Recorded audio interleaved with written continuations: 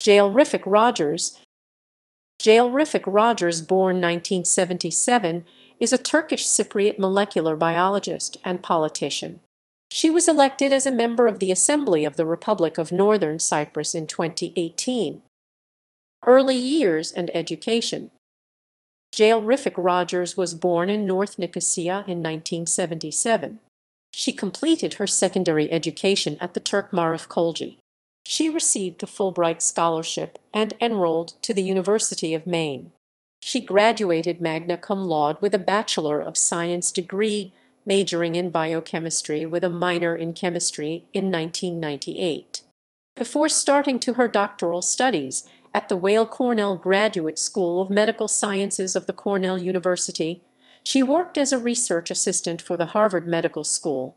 She received a PhD degree from the Cornell University in molecular biology in 2006.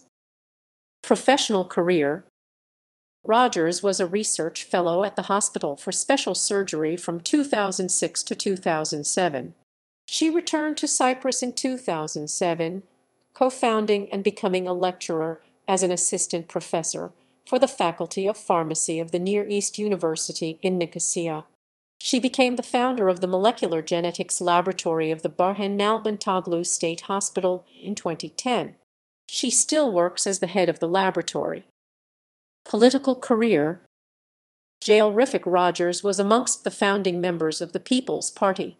She was named to the Provisional Central Executive Body of the party and was re-elected to her position after the first Congress. She took a critical stance expressing her concerns on the quality of health services provided by the state and suggested important reforms to reevaluate the health system. In the 2018 parliamentary election, she was the candidate of the People's Party for the Girne district and was fourth on the party list.